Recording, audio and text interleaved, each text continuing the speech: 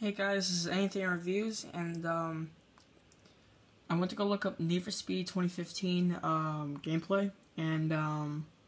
there's this one video, uh, like I said, it's called that, and uh, now if you didn't know that um,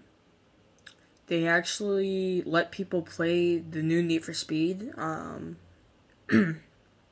at E3, but uh, there's hardly any footage on YouTube. But I did find this one, and uh, I was worried that there wasn't going to be any damage to like the cars if you hit a wall, and um, actually, there actually is damage because if you look on the Mustang's uh, hood, it's actually bent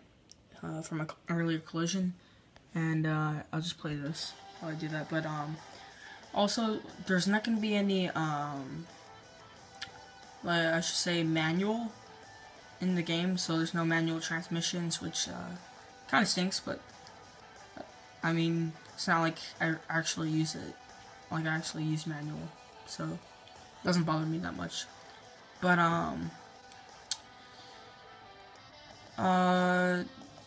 apparently, if you put different exhaust on different cars, I mean, like, uh, if you just switch the exhaust on a car, it changes the sound of the car. And also, apparently, there's, uh, you can put subwoofers in your own car, and, uh, like, amps and speakers, etc. And they were saying that it'll actually make the music louder in the game, or maybe like uh, it affects the bass of like the song. Um, you're you are allowed to take off the rear bumpers because if you look in the uh, Speed Hunters article, there's a 380 SX